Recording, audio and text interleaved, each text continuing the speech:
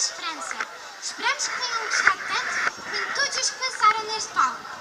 Obrigada a todos os meninos e meninas, professores, educadores, colaboradores, assistentes técnicos e operacionais, a toda a equipe empenhada e dedicada que ajudou a realizar todo este espetáculo. Viva a paz! Viva as crianças! Viva a Festa da Flor 2017! Até à próxima! Finally, we reached the end of this great event.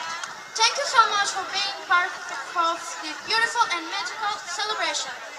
Have a wonderful Flower Festival 2017 and we hope you all have a good time in our beautiful flower evening.